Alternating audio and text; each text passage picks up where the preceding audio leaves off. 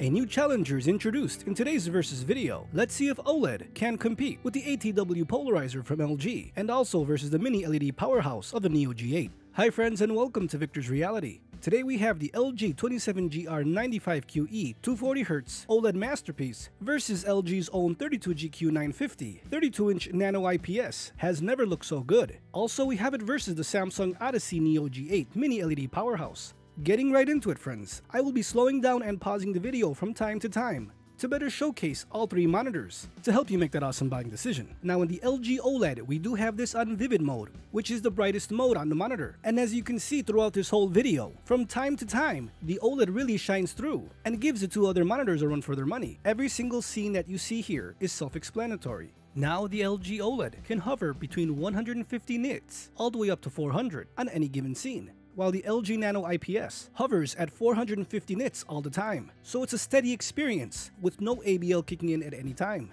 And with the Odyssey Neo G8, with that true local dimming power, even with contrast enhancer on. Looks amazing with the highlights, but at times suffers to about 350 nits when you compare it to the LG IPS. You'll be able to see that in today's video friends. What I'm introducing today is to see how this OLED can fare against these two amazing monitors. These are all top of the line monitors on the market today, and mostly all the time the LG OLED's colors just look amazing and really do look a step above the other two monitors. But no one can deny that brightness power of the Neo G8.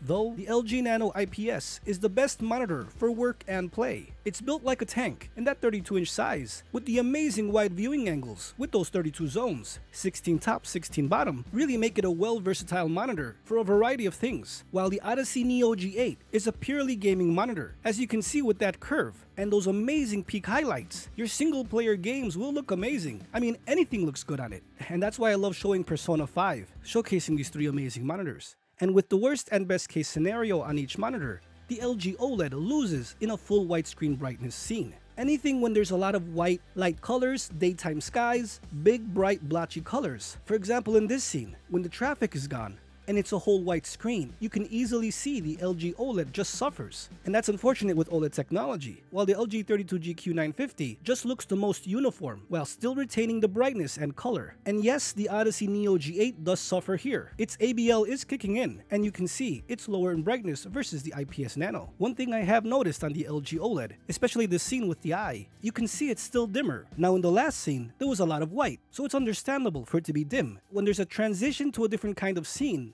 I would say more dark areas, right? Not full white screen. The monitor does tend to slowly ramp up when I'm freeze framing it. I can see it. And this scene should be technically brighter, but I can tell it's slowly ramping up. And then when we get to the transitions of the characters, it goes back to normal and gives the other two monitors a run for their money. It's really hard to see in person, but when I freeze frame it, and that's why I'm showing you here, these small details, it's easily seen. Now with this scene, it looks like the LG OLED has caught up a bit in terms of brightness. Remember, a good reference from this whole scene that we're seeing here, the top right LG Nano IPS is a set 450 nits, while the LG OLED on the bottom, it hovers between 150 to 400 nits and on the Neo G8, it hovers between 350 to over 1000 nits with that peak highlight power with contrast enhancer on. There's a variety of scenes that you will see the Neo G8 with its contrast enhancer and mini LED power just overpower the other monitors. And as this is a versus video, I always say, when you find that perfect monitor, you should be 100% content with what you have. From the overall build design, to the quality of what you're seeing. Especially in this dance section, these displays are not just materials that you put on a desk. The quality of these monitors open new worlds to what you're seeing, and at the same time should make you love your content all over again. It's really hard to say who wins today, or if ever in any versus video one truly wins, because none of them really truly destroy the other technology. There are advantages, but one never runs away with it. You can see with these scenes, the LG OLED truly gives them a run for their money. And with this character walking under the train, look at the top left with the Neo G8. The contrast enhancer is really showing its power, brightening up all the backlighting and the character's face. While the LG Nano IPS is all uniform. Remember, there's only 32 zones, 16 top, 16 bottom on the LG Nano. But look at the LG OLED. There's just much more detail everywhere.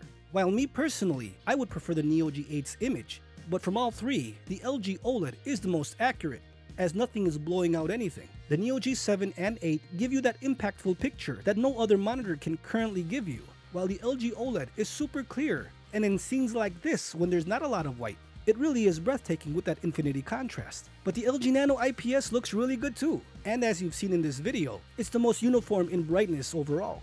But these monitors truly make you feel that next generation has finally arrived. With the infinity contrast of the LG OLED, to the amazing peak highlights of the Odyssey Neo G8, to the awesome versatile, steady brightness of the Nano IPS on the LG 32GQ950. These are the three best monitors on the market today. So if you're interested in these three, you probably have one of the hardest decisions to make, as each offers something different that the other can't quite match.